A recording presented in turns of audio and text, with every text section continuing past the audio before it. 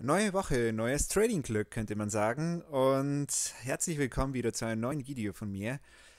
Ähm, heute geht es wieder insbesondere um einige Trading-Chancen, die mir derzeit auffallen. Was am Ende daraus wird, wird man sehen. Und ich würde sagen, halten wir uns nicht lange mit der Vorrede auf. Beginnen wir mit dem Video. Und natürlich wie immer der Risikohinweis. Alles, was ich hier wieder aufzeige und kundtue, ist meine eigene persönliche private Meinung und jeder kann natürlich mit meiner Meinung dann äh, sie verwenden, wie er möchte. Das ist auf jeden Fall keine Anlageempfehlung in Investmentberatung und ähm, ich würde sagen, beginnen wir. Zunächst wieder, wie so oft, ein kleiner Rückblick äh, zur letzten Woche. Ich habe ja hier diese Grafik veröffentlicht und habe darauf aufmerksam gemacht, ähm, dass der Aktienmarkt durchaus ähm, ja, zum alten Hoch aufbrechen könnte. Und was ist diese Woche passiert? Bereits am Montag kam es zu einer Riesenbewegung, gerade im Nasdaq. Und ähm, genau diesen Move ähm, können wir hier auf dieser Grafik sehen und feststellen. Wir haben bereits fast das alte Hoch erreicht, noch nicht ganz. Ich denke, wir werden es auf jeden Fall noch erreichen. Was danach kommt, wird man sehen. Ähm, dieser Move war gestern wirklich gigantisch, äh, kann man schon sagen, und brachte viele hunderte Punkte. Und äh, wer diesen Trade genutzt hat, kann sich heute über dicke und volle Taschen freuen.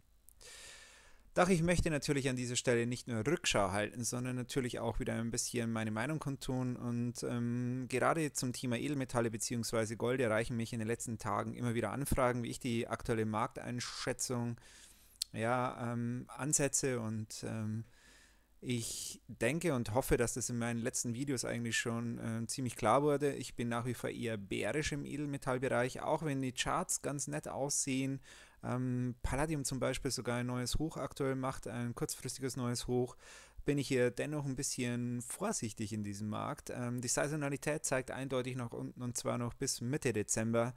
Die Charts sind ebenfalls angeschlagen und gefallen mir nicht so toll. Und die COD-Daten sind alles andere als ähm, positiv für die Edelmetalle. Und deswegen habe ich hier mal Gold rausgepickt, stellvertretend für die Edelmetalle. Und das kann man feststellen. Ähm, tja, eine dicke blaue Linie ist hier eingezeichnet im Chart und das bedeutet einfach, Gold läuft gerade einen ganz wichtigen, markanten Widerstand an. Und die Wahrscheinlichkeit ist gar nicht so gering, dass es hier bereits wieder nach unten weggeht. Natürlich ist es auch möglich, dass wir vielleicht nochmal die 2000, vielleicht 2025 sehen und dann erst eine Abwärtsbewegung kommt. Dennoch halte ich eine Korrektur für aktuell wahrscheinlicher als für wieder ja, sofortige weitere neue Höchststände bei Gold. Außer natürlich, die Krisenlage weltweit verschärft sich weiter und die Geldpolitik wird noch weiter, ver ja, verändert sich drastisch nochmal zum Negativen, indem noch mehr Geld gedruckt wird, als wir ohnehin schon drucken. Ähm, dann ist natürlich alles möglich, aber zumindest hier kurzfristig mh, hm, würde ich mich eher auf der Short-Seite positionieren. Ähm, beziehungsweise diesen Markt aktuell meiden oder wirklich nur zum Traden nutzen. Physische Ware ist natürlich ein ganz anderes Thema. Bereits bei diesen Kursen kann man jederzeit physische Ware nachkaufen. Warum? Zum ersten, wir hier in Europa kaufen es eben in Euro. Und ähm, zweitens, äh, physische Ware kann man nie genug haben, in, aktuellen, ja, in der aktuellen Zeit. Ähm, ich möchte hier aber heute auch mal ein bisschen ähm, ja, die anderen ja, Rohstoffe wieder aufzeigen, allen voran eben die Soft Commodities. Doch beginnen wir zunächst mal mit Erdgas. Erdgas war ein sehr, sehr, sehr interessanter Trade. Ähm, ich wollte hierzu sogar noch einen Post vor einigen Wochen veröffentlichen, als wir nochmal die 2 Dollar erreicht haben. Und ähm, es war eine Riesengelegenheit, hier nochmal auf einen Longzug aufzuspringen. Warum? Ähm, wer sich ein bisschen mit Charttechnik auskennt, er ähm, kennt sofort etwas auf diesem Bild.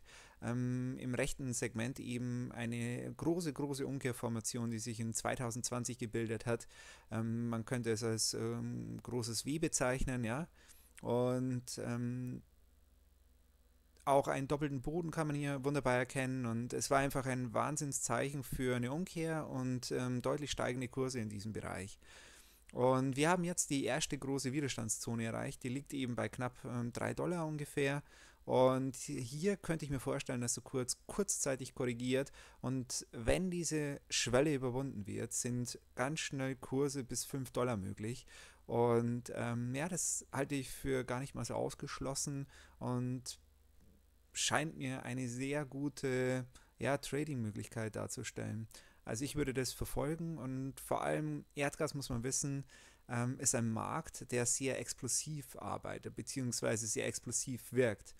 Und ähm, dieser Markt ist in der Lage, sehr große Kursspannen in sehr kurzer Zeit zurückzulegen, wie man auch hier wunderbar im Chart sieht. In der Regel verläuft, ähm, gibt es hier halt keinen gleichmäßigen, schönen Anstieg, sondern der Kurs schießt in der Regel förmlich immer nach oben und das innerhalb von wenigen Wochen beziehungsweise sogar wenigen Tagen und erreicht dann sein Ziel und korrigiert aber genauso schnell wieder. Und ähm, deswegen aktuell kann ich mir eine Mini-Korrektur vorstellen und im Anschluss dann vermutlich Kurse bis in den Bereich vielleicht ja, von 5 Dollar. Wir werden es sehen. Doch was fällt mir aktuell im Rohstoffsegment überhaupt auf? Ich werte ja seit vielen, vielen Jahren den COD Report aus und ähm, hatte hierzu ja bereits sogar ein Newsletter vertrieben und war ja einer der ersten und wenigen in Deutschland, die sich ähm, hier öffentlich mit dieser Thematik auseinandergesetzt hat. Und ähm, für mich sind diese Daten immer noch sehr wertvoll und immer noch ein wichtiger Wegweiser für die Märkte. Und was fällt mir aktuell auf? Ich habe das einfach hier mal zur farblichen Verdeutlichung einfach dabei. Es gibt aktuell nur drei Werte, die bei mir auf Long stehen, hingegen eine ganze Liste, die auf Short steht. Ähm, erstmal hat das nichts Größeres zu bedeuten, denn grundsätzlich ist es sogar positiv zu werten, denn wenn die Werte steigen, dann müssen nämlich die, ähm, ja, die Short-Kontrakte der Commercials immer größer werden.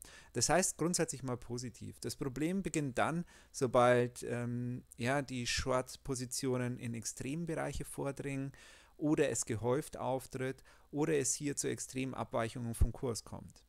Und aktuell kann man einiges davon eben feststellen und deswegen ist diese Liste ganz interessant, denn sie zeigt einfach, dass vielleicht unter Umständen ähm, der Rohstoffsektor gerade im Soft-Commodity-Bereich vor einer kleineren Korrektur stehen könnte. Im Anschluss gehe ich dann wieder von weiter steigenden Kursen aus, aus verschiedensten Gründen. Zum einen natürlich wegen Corona bedingt, ähm, es gibt Rohstoff- oder Nahrungsmangel weltweit aus diesem Grund, natürlich auch wegen der großen Geldschwemme.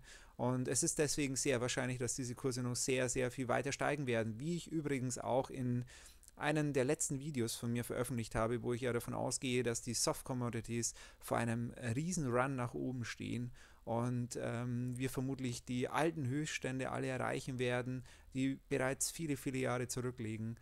Und hier dürfte es zu einer richtigen Rallye kommen. Die Frage ist nur, ob wir vielleicht kurzfristig eine, eine kleine Korrektur übergehen, um wieder ein bisschen Luft zu holen und im Anschluss dann neue Höchststände sehen. Das wird sich zeigen. Auf jeden Fall ist es interessant und gut zu wissen betrachten wir deswegen auch den CRB-Index. Das ist, ähm, ich nenne es jetzt mal, der bekannteste Rohstoffindex der Welt, denke ich mal. Leider ist er ein bisschen verzerrt, da er sehr energielastig ist. Ähm, theoretisch müsste man einen eigenen CRB-Index kreieren, was ich schon in Excel selbst gemacht habe. Ähm, leider aktuell nicht aktualisiert, deswegen kann ich hierzu auch keine Daten liefern. Ähm, dennoch sehr spannend und interessant. Und was kann man auf jeden Fall hier sehen? Äh, dass wir in einen dicken Widerstandsbereich gelaufen sind im CRB-Index nach einer großen und fulminanten Rallye, die er hingelegt hat. Und hier kann ich mir vorstellen, dass es ebenfalls nochmal zu einer kleinen Korrektur kommt, ehe dann eben diese wichtige Marke übersprungen wird und es deutlich wieder höhere Kurse geben wird. Ähm, das ist zumindest meine Vermutung und ähm, ja, die ist, denke ich mal, nicht so unwahrscheinlich. Doch betrachten wir jetzt noch einige Märkte ein bisschen im Detail, hier auch Mais. Wir haben bereits bei Mais die erste Widerstandszone erreicht und ich könnte mir vorstellen, dass Mais nun in eine Konsolidierung übergeht, eine Korrektur nochmal zurück, vielleicht bis in den Bereich von 3,50 und danach eben wieder neue Höchststände da möglich sind, auch über den Bereich von 450. Sollte der Markt aber noch die 450 erreichen, ich denke spätestens ab dann ist hier erstmal vorerst Schluss und eine Korrektur setzt ein. Und danach kann es eben schnell zum 550 gehen und eben am Ende zu neuen Höchstständen bei über 850 Dollar. Aber wie gesagt, kurzfristig kann ich mir hier gerade im Trading-Bereich sehr gut eine Korrektur vorstellen. Hingegen Kaffee sieht für mich im Moment unglaublich spannend für einen Long Trade aus. Ähm, Kaffee steht zwar in der Kotliste auch im Short-Bereich, aber charttechnisch sieht es hier sehr, sehr, sehr gut aus. Auch Seasonals äh, sprechen für steigende Kurse und deswegen möchte ich mich hier in diesem Markt sehr gerne auf der Long-Seite positionieren.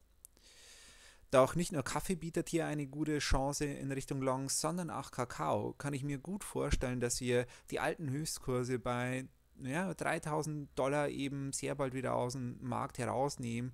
Und ähm, ich würde mich hier persönlich auf der Long-Seite eher positionieren bzw. Einstiege suchen. Bei Zucker sieht es ein bisschen anders aus. Hier denke ich, ist der Markt äh, zumindest kurzfristig wieder reif für eine kleine Korrektur. Ähm, ich denke, dass die gar nicht mehr so weit gehen wird, die Korrektur. Aber dennoch ähm, habe ich ihn hier aufgeführt, einfach weil wir diesen wichtigen Bereich angelaufen sind. Außerdem hat sich hier eine Umkehrcandle gebildet und deswegen könnte ich mir kurzfristig eben nochmal tiefere Kurse vorstellen, ehe wir dann wieder zu neuen Höchstkursen aufbrechen. Das war es dann diese Woche auch schon wieder. Ich hoffe, ähm, ja, die Trades oder die Trade-Ideen ähm, sind wieder interessant gewesen, bringen am Ende wieder ordentlich Profit und vielleicht veröffentliche ich die Woche noch ein weiteres Video oder stelle wieder mal bei Instagram oder Twitter ähm, neue Trade-Möglichkeiten ein. Gerade im Bereich Währungen gibt es nämlich diese Woche einige interessante Bereiche, die man handeln kann. Und ähm, ja, ich wünsche noch eine tolle Woche und bis zum nächsten Video.